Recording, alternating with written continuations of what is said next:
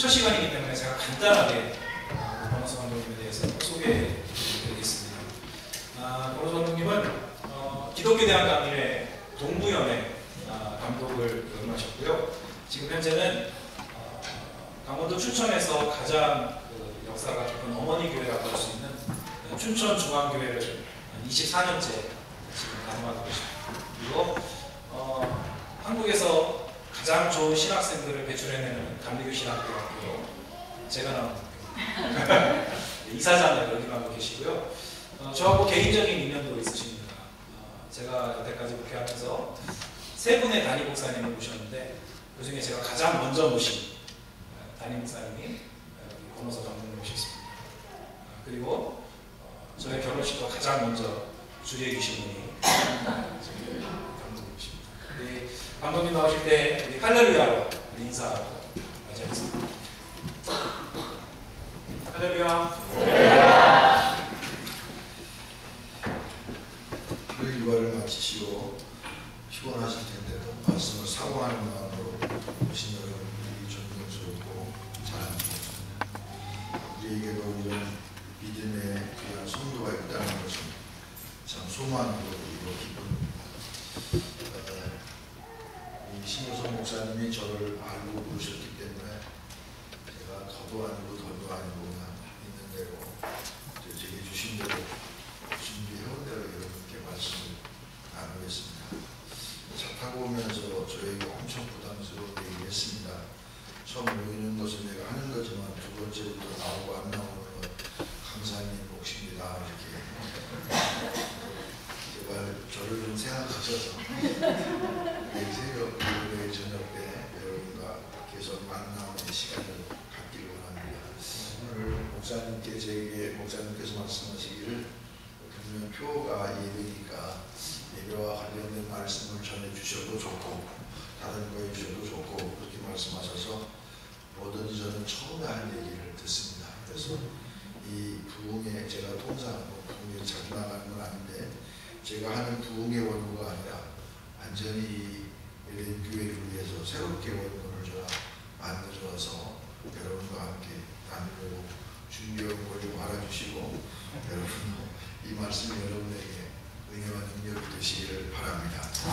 참고로 제가 말씀드리는데 이 내용은 제가 예배에 대해서 굉장히 관심이 많고 또 여러 집중을 하는 그런 목표를 하고 있기 때문에 참고로 저희 교회에서 하지 않은 설교가 아니라 저희 교회에서 한 설교 제가 금년에 예배에 대해서 벌써 6주 동안을 한 주제를 가지고 설교하는 경험이 있습니다.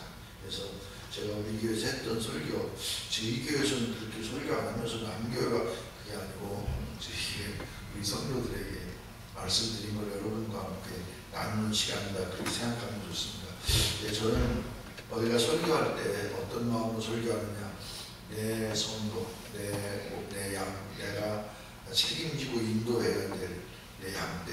그런 마음을 가지고 더도 아니고 덜도 아니고 있는 대로 설교하는 게 제 스타일입니다. 제가 일생 평생 이렇게 시조로 삼는 말 가운데 하나가 생긴 대로 살자. 생긴 대로 살자. 근데 말을 함부로 할 게 아니더라고요. 제가 뭐 그렇게 사람이 꾸미고 사느냐고 그냥 생긴 대로 살지. 이러고서는 이제 제가 주일날 설교를 했는데 그럼 화요일 날이 저희는 휴무일인데 아내가 저보고 나이가 들어가면서 모발이 안 좋은 것 같으니까 이좀이 모발 영양제 뭐 이렇게 하자고 그래요.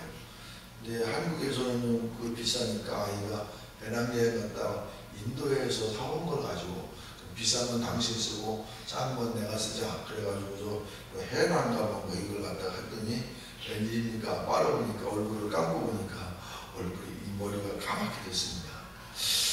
그때가 마침 특별 새벽기도의 기간이라 제가 매일 새벽기도를 인도하는데 걱정돼갖고 머리다 막 전화하고 두 번째 합니다. 그 다음에 초록색이 나왔습니다. 제가 그 전주일에 설교를 뭐 생긴 대로 살지 뭘 이게 고치고 뭐 이렇게 힘들게 하느냐 그냥 생긴 대로 살지 그렇게 설교를 했는데 글쎄 제 머리가 초록색이 됐습니다. 그래서 그 밤에 이제 염색약을 갖다가 또 발견했다가 염색약을 머리 두피에다 하면 또 안 좋다고 해서 염색약을 이게 좀 너무 세게 붙은 데는 살짝 살짝 이렇게 닦아낸 것이 뭐가 되냐 브릿지가 돼버렸습니다. 그 다음날 교회 갔더니 교인들이 새벽 기도에 끝나고 보고 싱긋싱긋 웃고 3일 후에 우리 부목사가 조금 자주 보니까 낫네요 그렇게 합니다. 얼마나 제가 이게 이상했었어요. 이게 말로 함부로 할 건 아닌데 하여간 어떻든 제가 그냥 제가 평소에 예배에 대해서 어, 생각하는 그 하나님 주신 제게 주신 은혜를 이번 부흥의 기간 동안에 여러분과 함께 나누고 저도 새롭게 여러분도 여러분과 함께 은혜 받는 귀한 시간 되기를 소망합니다. 기도하시겠습니다. 하나님 하루의 일상을 마치고 피곤하고 분주한 삶 속에서도 주님의 말씀을 사모하고 은혜를 사모하여 이전으로 우리를 불러 인도하심을 감사합니다. 하나님 함께 하셔서 말씀을 우리에게 능력이 되게 하시고 지혜가 되게 하시고 길이 되는 귀한 시간 될 수 있도록 역사하여 주시옵소서 말씀을 듣다가 주의 음성을 듣게 하시고 말씀을 듣다가 하나님의 뜻을 캐라는 귀한 시간 되게 하여 주시옵소서 피곤하고 지쳤지만 하나님을 향하여 마음을 열 때마다 귀를 열 때마다 주님의 성령께서 우리를 사로잡아 주셔서. 하나님의 귀한 말씀으로 새로워지는 은혜의 시간 꼭 되게 하여 주시옵소서. 하나님 좋은 이곳에 보내놓고 기도하는 사랑하는 성도들의 간절한 기도도 응답하셔서. 합력하여 손을 이루시는 주의 뜻이 이 한 시간 나타날 수 있도록 역사하여 주시옵소서. 예수 그리스도의 이름으로 간절히 기도드립니다. 아멘 어느 회사에서 입사 시험을 보게 됐습니다. 입사 시험에 대한 문제가 이런 문제가 났습니다. 거센 폭풍이 몰아치는 밤길에 당신이 택시 운전을 하고 있었습니다. 그런데 사람이 있는 곳에 가서 타려고 보니까 세 사람이 기다리고 있었어요. 한 사람은 한시 앞이 병원에 가야 될 나이 많은 노인이었고 두 번째 사람은 언젠가 당신의 목숨을 구해줬던 의사였고 세 번째 사람은 평생 당신이 꿈에 그리며 만나기를 소원했던 이상형의 사람이 있었습니다. 그런데 당신의 차에는 딱 한 명만 태울 수밖에 없었습니다. 이런 상황이라면 당신은 어떤 사람을 태우시겠습니까? 이게 바로 문제였습니다. 200명이 지원했는데 한 명을 뽑습니다. 모든 사람이 이런저런 답을 써냈습니다. 제가 이런 질문을 여러분께 던지면 여러분 누구를 태우시겠습니까? 아마 나름대로 자기의 성격이나 가치관이나 자기의 모든 살아온 경험을 통해서 여러 가지 생각이 다른 답이 나올 수 있습니다. 그런데 200명의 경쟁자를 물리치고 채용된 사람이 쓴 답이 뭔지 아십니까? 그는 이렇게 썼습니다. 할머니를 병원에 모시다, 모셔다 드리도록 나는 의사에게 제 키를 주겠습니다. 그리고 내가 언제 만날지 모르는 그 평생 이상형 그 사람과 함께 나는 다음 차를 기다리겠습니다. 그게 바로 그 사람이 쓴 예, 답이었습니다. 제가 무슨 말씀을 드리려고 이 말씀을 여러분께 드리냐면 사고의 틀, 이 도식적인 틀을 깨고 생각할 때 우리가 기대한 것 이상의 효과를 나타낼 수가 있다는 말씀입니다. 나를 버리고 크게 생각하면 많은 사람이 행복해집니다. 우리가 신앙생활하면서 더불어 생각해야 될 것이 바로 사고의 전환입니다. 미국 사람이 프랑스 여행을 합니다. 프랑스 시골길에 몹시 목이 타서 보니까 옆에 웅덩이가 있었어요. 그래서 그 웅덩이에서 물을 보니까 깨끗한 물이에요. 그래서 물을 마셨습니다. 그 일어나서 봤더니 그 옆에 뭐라고 끝말이 써 있느냐면 포이즌이라고 써 있습니다. 포이즌 여러분 독아입니다.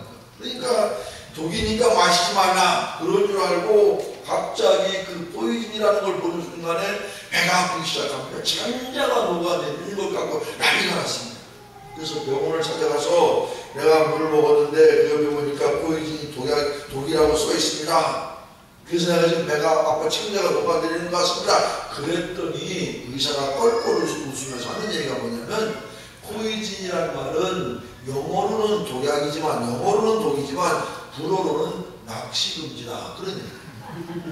그러니까 독약이 그를 아프게 한 것이 아니었습니다. 독을 제거한 치료가 그를 안 아프게 한 것도 아니었어요. 그를 아프게 한 것도 그를 안 아프게 한 것도 바로 뭐 생각이었다는 얘기입니다.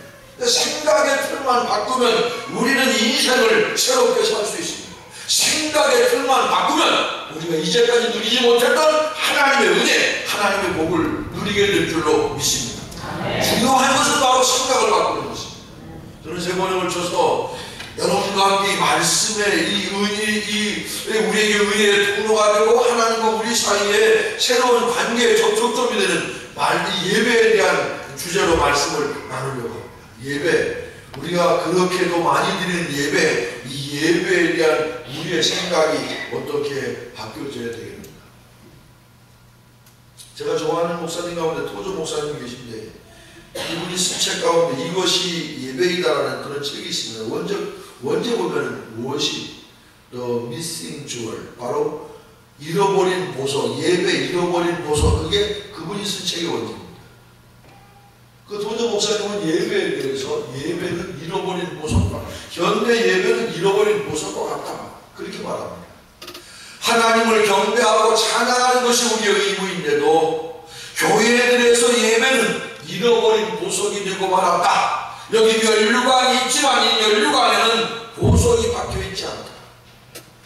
지금 교회는 온갖 장식품으로 화려하게 빛나지만 정작 빛나야 될 보석 예배는 실종되었다. 그렇게 그분은 얘기합니다. 여러분 교회의 핵심은 뭡니까? 바로 교회의 보석이 뭡니까? 바로 예배라 그렇게 말씀하면 왜 그렇습니까? 예배가 살면 하나님과 나와의 관계가 살고 하나님과 나와의 살아있는 관계를 통해서 하나님은 은혜도 주시고 아멘 능력도 주시고 아멘 기쁨도 주시고 아멘 그러면 아멘 안 할 것 같은 다 하고 살아계신 살아계신 하나님 하나님과 나와의 역동적인 관계 예배를 통해서 하나님과 나와 형성될 그 관계를 통해서 하나님이 우리에게 지혜도 주시고 은혜도 주시고 능력도 주시고 복도 주시는 줄로 믿습니다. 그런데 이 예배가 예배답게 드려지지 못하고 예배가 하나의 상식품으로 그쳐질 때 우리는 문제가 심각합니다. 도도 목사님 이렇게 얘기합니다. 아름답게 빛나야 될 보석 정말 귀한 예배가 실종되었다 그렇게 말합니다. 우리가 예배를 많이 드리죠. 우리 이민교회는 여러분 형편 때문에 그러지 못할지 모르지만 주일날도 예배 드리죠. 수요일도 예배 드리죠. 매일 새벽마다 예배 드리죠. 금요일도 예배를 드리죠. 또 소그룹으로 예배를 드리죠. 그렇게 많이 예배를 드리고 있는데도 그런데도 이 목사님은 오늘 진정한 예배는 실종되었다. 왜 그렇게 말하고 있습니까? 소주 목사님은 얘기합니다. 교회 안에서 집회가 열리고 다채로운 프로그램이 넘쳐나지만 하나님 앞에 신경과 진정의 예배, 하나님의 임재를 체험하는 예배, 하나님의 말씀을 통해서 감, 감격과 은혜를 누리는 예배, 그런 예배는 졌다는 얘기입니다.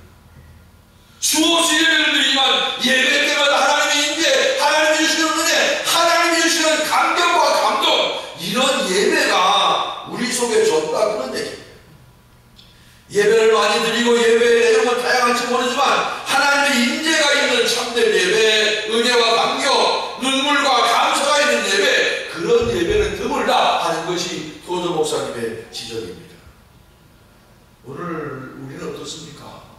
정말 예배 때마다 정말 예배 때마다 하나님의 은혜, 하나님의 감동, 감격, 이 감사 이런 것이 우리 속에 느껴져